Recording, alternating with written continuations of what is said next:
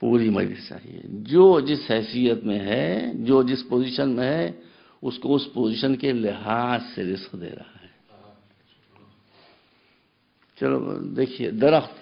अब दरख्त हिल तो नहीं सकते। एक जगह पर जमे हुए हैं तो क्या फाके कर रहे हैं? उनका रिस्क अल्लाह उनके पैरों में लाके रख रहा है। उनकी जड़ें रिस्क को लेकर ऊपर तक पहुँचा रही हैं। जानवर को थोड़ा चलना फिरना पड़ता है। इंसान, अब देखिए, चलिए मैं सब दरमियान से काट दिया पाकिस्तान से भी लोग आए होंगे यहाँ? आए हैं ना? अच्छा भाई, पाकिस्तानी हमारे भाई बताएँ, आलम चन्ना का नाम ज़रूर सुना होगा आपने? सुना था, देखा था? टीवी तो हमने भी देखा था, हिंदुस्तानी पाकिस्तानी में क्या फ़र्क हुआ? तो फ़र्क नहीं हुआ हमने तो अमेरिका में देखा था उसको। अमेरिकन तो आप जानते खुद बड़े टॉल होते हैं। ताड़ के तरफ़। जब जेफ कैनेडी पर वो आया है तो अमेरिकन उसको, जो कभी खुदा को याद नहीं करते हैं। जब आलम चन्ना उनके सामने एयरपोर्ट पहुँचा, उनका ओ माय गॉड तो कम से कम आलम चन्ना ने इतनी तबलीग तो कर दी कि जो कभी अल्लाह का नाम नहीं लेते, वो उसको देख के अल्लाह उनको याद आ गया। ओ माई गॉड अच्छा। तो आलम चन्ना अब तकरीबन आठ फीट उसका कैद था नॉर्मल कद था उसका। लेकिन ये मुझे बताइए कि ये आलम चन्ना जब अपनी मदर के बूम में था तो कितना बड़ा था? इतना छोटा था, इतना छोटा था कि माँ भी अगर नेकेड आई से देखना चाहती तो देख नहीं सकती थी।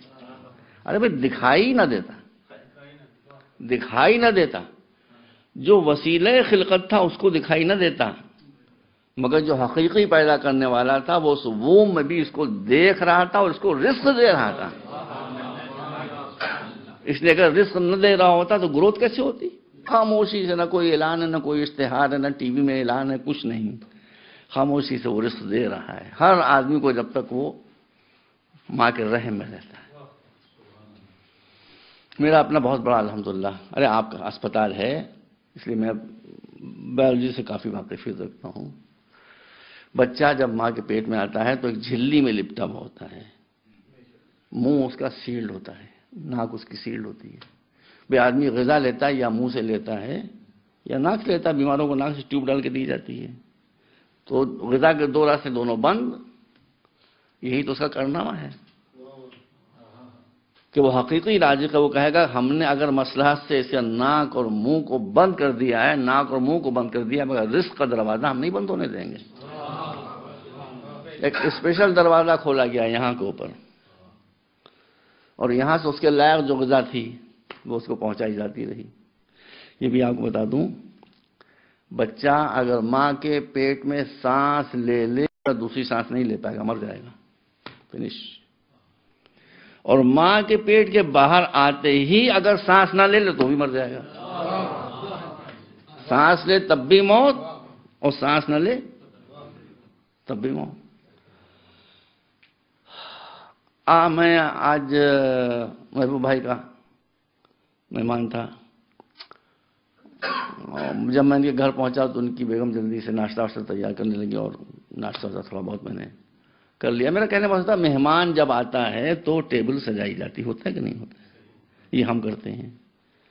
मगर एक नन्हा सा मेहमान जो यहाँ था पेट के अंदर, जब वो माँ की गोद में आने लगा तो अल्लाह ने ये इंतज़ार नहीं किया कि आ जाए माँ की गोद में तो मैं माँ की छाती में दूध लाऊं। ये हम करते हैं। उसने पहले से माँ की छाती में दूध फराहम कर दिया। कि मेरे जेर इंतज़ाम जो बच्चा आने वाला है, वो एक सेकंड के लिए भी ऐसा ना हो कि वो आए उसका रिस्क मौजूद ना हो। उसका रिस्क, अब मैं लाइन बदल गया भाई। उसका रिस्क पहले से माँ की छाती में मौजूद है। तो मैं आपको बता रहा हूँ, अल्लाह की नेमतें, मैं आपके सामने ये, इसके लिए बहुत लंबा टॉपिक है ये। अगर कोई प्लानर नहीं है तो ये क्यों हुआ कि वो बच्चा जो माँ की गोद में आया, उसको कुछ नहीं आता है? ही नोज़ नथिंग कुछ भी नहीं आता उसको। उसकी आँखें भी नहीं ठहरती हैं, कान भी पूछता काम नहीं करते।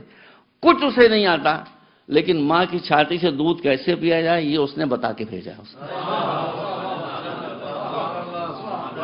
क्योंकि अगर ये भी ना मालूम होता तो वो भूखों मर जाता। अल्लाह के जेर इंतज़ाम कोई इंसान भूखा नहीं रह सकता है। सलाम